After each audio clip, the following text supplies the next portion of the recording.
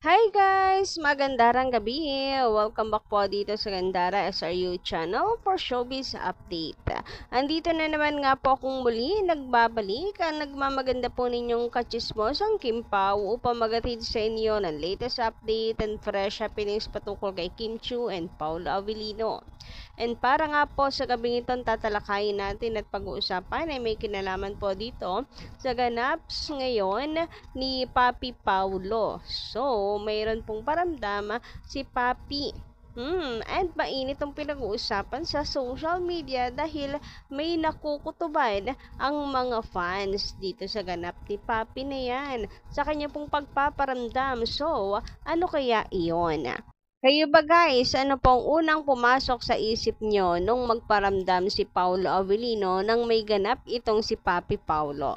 Pa-comment dyan sa baba. Anyway, before that, ano, sa mga hindi pa po nakaka-subscribe dito sa ating channel, pakiclick lang po ng subscribe button at ng notification bell para mag-updated po kayo at ma-notify tuwing may bago tayong chika at balita hinggil sa Kim Pao. Basta mga balita na may kinalaman kay Kim Chu and Paulo Avellino, sagot na po natin yan. Anyway, sa gabing ito, nahin po natin pag-usapan ang tungkol dito sa reaksyon ng mga fans ni Kim Chu hinggil po sa pangbabatikos na natanggap niya kamakailan lang sa kanyang event, sa kanya pong mga endorsement, etc. So, nakakatuwa how how you guys handle the situation, handle po yung pangbabashing. Siyang tunay na ano, you're a matured enough talaga to handle the bashing. Kasi wala naman po talaga tayong makukuha sa kanila kundi stress lang din naman talaga.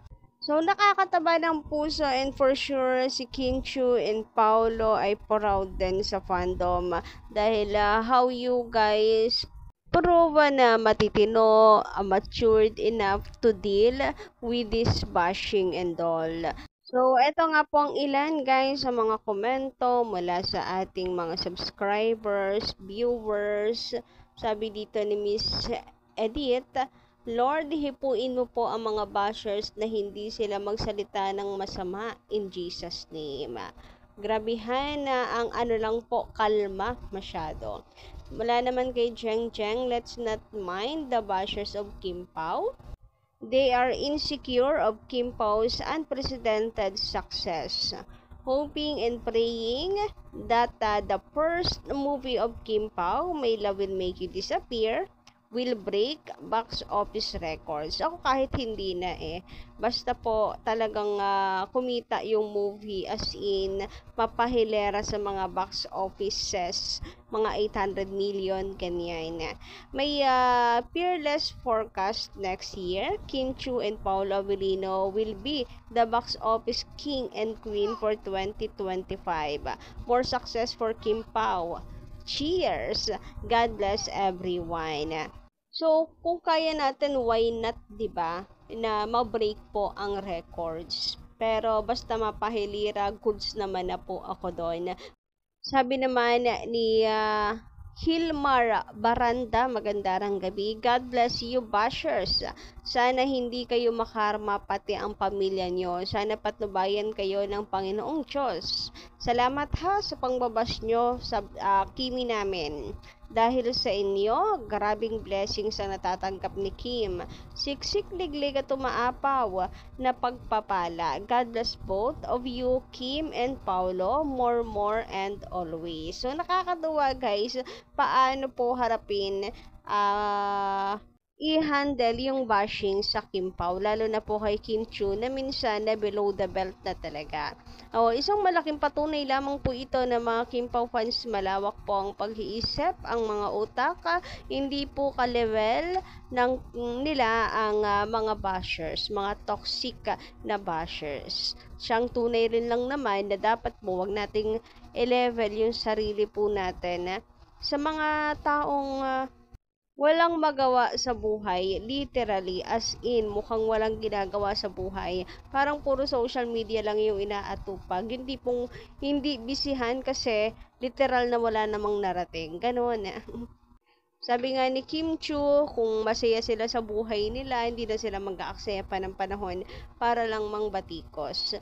Saka, ano po, kung sila po may mga pinagkakaabalahan, mga edukado, eh, hindi sila mag-aaksaya ng oras para batikusin lang si Kim Chu.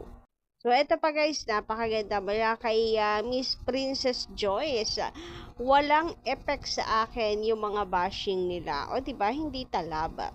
Halata naman na gusto lamang nilang inisin ang Kimpaw fans at gusto nilang buwagin ang Kimpaw. Kanino ba tayo maniniwala sa mga kaibigan niya sa showbiz na pumupuri sa kanya? Ito talaga ang nakakakilala sa kanya. Family background ni Kimi ay maayos, tahimik lang sila hindi yan mamahalin ng management kung hindi mabuting tao si Kimi. Matulungin at mapagmahal. Bakit ako maniniwala sa mga bashers? Eh halata namang maninira at mga naiinggit lang naman sila. Hindi naman nila kilala si Kim in person eh. 18 years in showbiz na si Kim. Siguro, nasasaktan din si Kimi sa mga bashing pero hindi yan napapa-apekto. Siguro sanay na rin siya. Ang mahalaga daw, kilala niya ang sarili niya at si Lord na lang daw ang bahala sa kanila. Haha. Si Kim pa, malakas kay Lord yan. Matatag na ang isang Kim Chu at sana ganun din tayong mga fans. Huwag patitinag for the love and support to Kim Pao. O di ba napakaganda po ng mensahe na totoo naman, kanino tayo maniniwala sa mga taong tunay na nakakakilala kay Kim Chu o sa mga taong uh, di hindi naman siya nakakasama kahit isang segundo man lang sa buhay nila. Di ba? About naman po sa bashing kay Kim Chu, totoo yan, nasasaktan din si Kimi pero hindi siya nagpapa-apekto at nagpapatinag. Kung kayo po ay uh, fan ni Kim Chu or nakasubaybay po sa kanya sa loob pa lamang po ng bahay ni Kuya, alam niyo yan. Dahil si Kim Chu noon nami-misinterpret, akala po nila, eh wala lang kay Kim Chu, di ba may lumalabas ng bahay ni Kuya, syempre yung iba umiiyak, nasasaktan. Si Kimi, hindi siya nagpapakita ng emosyon dahil gusto niyang uh, maging matatag alam niyo yon basta ganun po yung senaryo and sinabi rin po niya yun kay kuya. Hindi siya iyakin. I mean nasasaktan siya pero ano yung pinipili niyang magpakatatag. Ganun siya. Mula naman kay uh, Day Rodriguez wala pong magagawa wala na pong magagawa tungkol sa Kim Pao. Hindi na mapipigilan ang pagkaingit nila sa lahat ng ginagawa ni Kim. Ipagdasal na lang sila sa lahat ng naging calendar girl ng Tandway kasi ay si Kim lang naman ang binabash nila. Isa lang po ang ibig sabihin yan. Bakit nga naman si Kim lang ang biniyayaan ni God ng maraming blessings? Anong meron kay Kim? Mahal si Kim ng Diyos.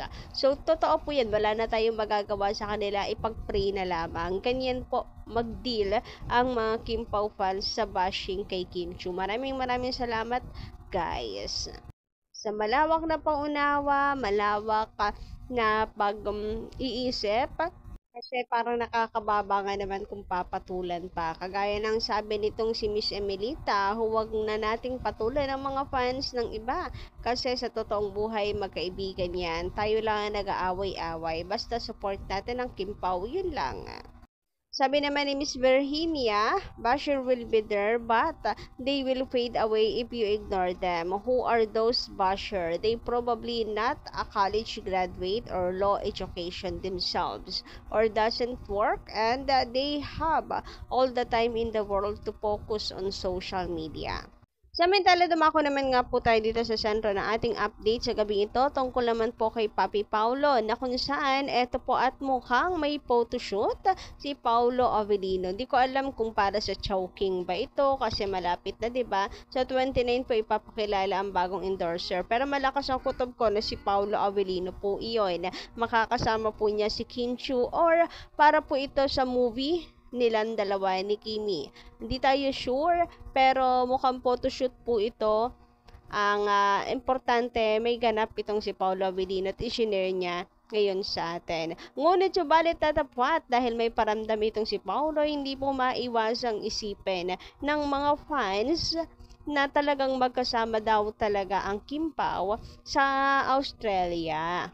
Kung saan, eh sumunod si Papi, nag ninja moves talaga siya. Dahil po pwede naman daw na mag-shoot sila ah, nung si Kimi ay nandoon sa Australia, may ganap.